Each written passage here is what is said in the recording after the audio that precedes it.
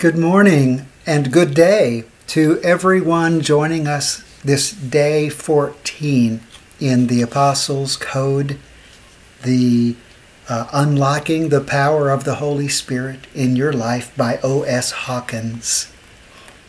Let's pray. Gracious Lord, we thank you for all that you have given us and especially for the Holy Spirit, who we are growing to know more and more. Please teach us, Father, and be patient with us as we learn. It's in Jesus' name we pray. Amen.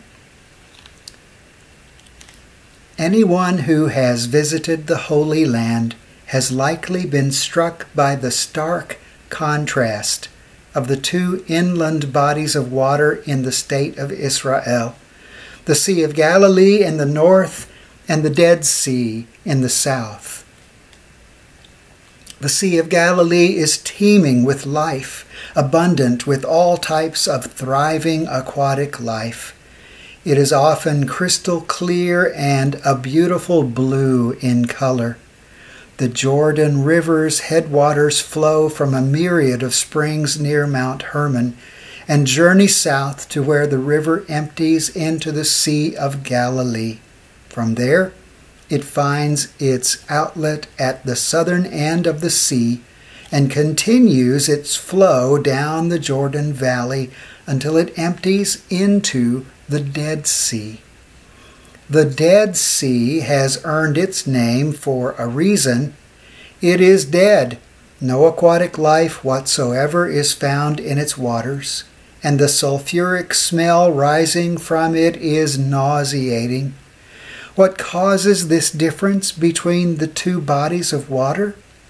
The Dead Sea has only an inlet. It takes in but does not give out. The Sea of Galilee, on the other hand, has both an inlet and an outlet. It not only receives it gives away. So it is with the vibrant believer who not only receives God's fullness, but also gives it away, and then, like the Sea of Galilee, is constantly being refilled with the Spirit. Our code word today is water. Whenever you see water today, whether it's in a sea, a lake, or a glass. Let it remind you of these two very different bodies of water and of God's desire for you to be like the Sea of Galilee, receiving His fullness and giving it away. Matthew 10, verse 8 Freely you have received, freely give.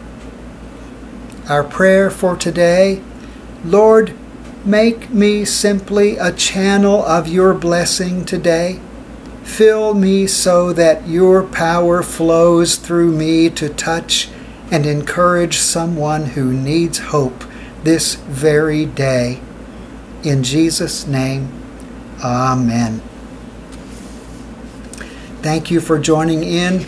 Brothers and sisters, I pray the Lord's peace be with you and that He would bless and keep you until we meet again. Amen.